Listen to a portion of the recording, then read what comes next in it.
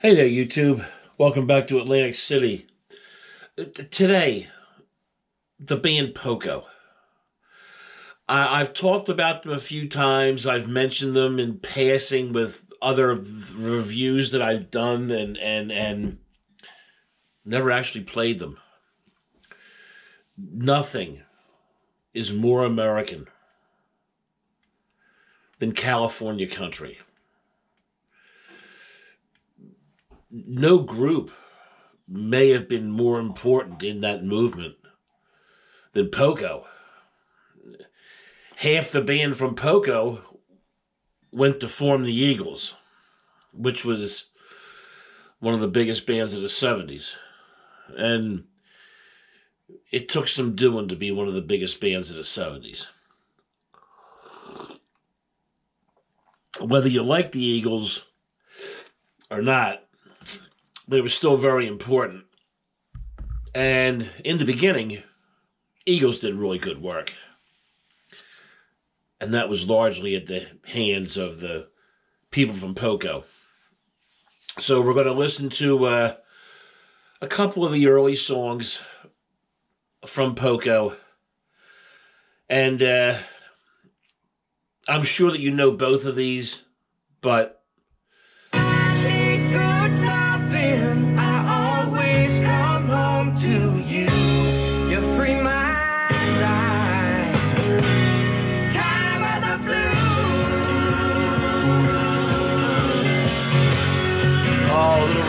never hurt anybody.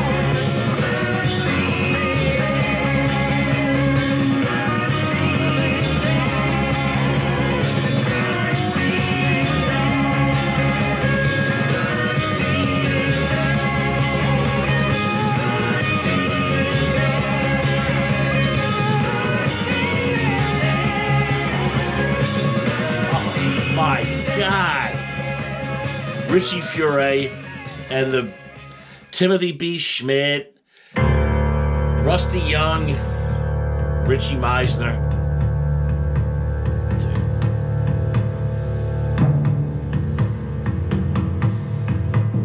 Piece of American folklore, to be sure.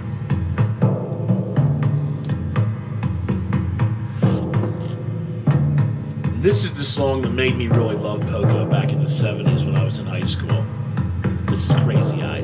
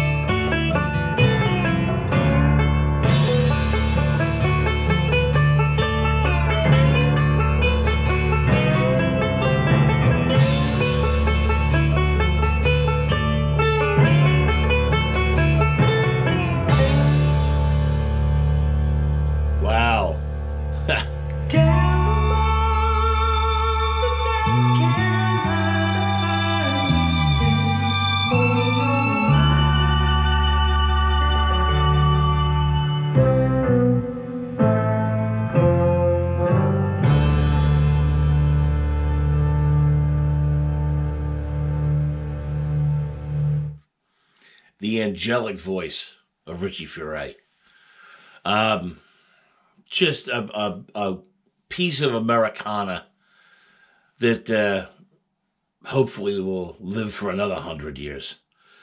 Um, very important these records from from Poco. Uh, uh, again, they really did them and Loggins and Messina um, in their early stages. They they launched this whole California country format, and there were a hundred branches that grew off of that tree. One of them was the Eagles. The Eagles took more than half of this band in the beginning. So they were that important. um, God, just fantastic stuff. Um, thanks for stopping by. Check out some more of Poco. You know, check on YouTube, sniff around. If you're not familiar, uh, you will not be disappointed. They have great songs from all stages of their career. Uh, Richie Furay is still bouncing around, I think. Uh, God bless him. anyway, guys, thanks for stopping by. I'll see you all soon back up on the boardwalk. Be good, you two.